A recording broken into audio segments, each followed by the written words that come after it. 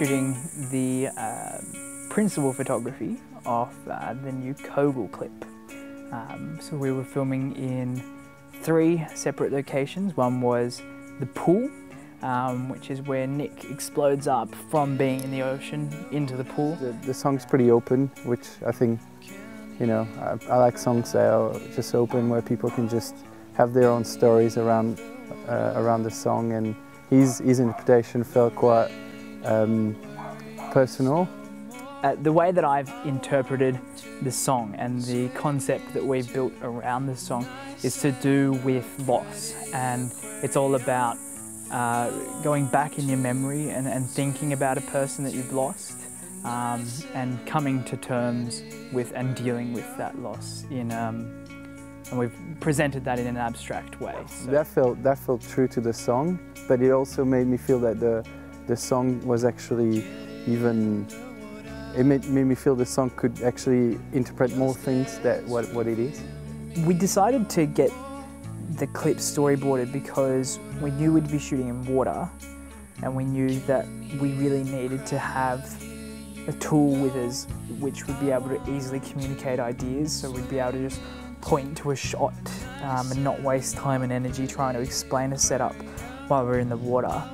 Well definitely there's, there's elements in the songs like I'm, I'm actually not doing any, any lipping or you don't see me singing or there's no instruments. We sort of want them to go on this journey with him and that's sort of one of the reasons I suppose why there's no him singing, um, no live action of him singing in the clip.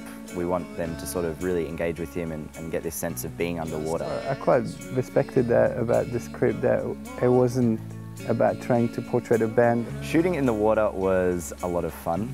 Um, for me personally it was a bit hilarious because I struggled to stay down. So someone actually had to hold my head down and, and keep me under there. But um, no, it's really cool. It's a whole different world under there. The light behaves really differently because it's sort of bouncing and reflecting off the water in a, in a whole different way. Nick has been probably the best person that we could have done this clip with. Um, it was an abstract clip. It was a clip that was dealing with the concept that is, um, is quite complex. Um, and Nick really jumped on board with the concept from day one, which was really great. He has had a lot of input with the concept and with the way that we've executed the concept.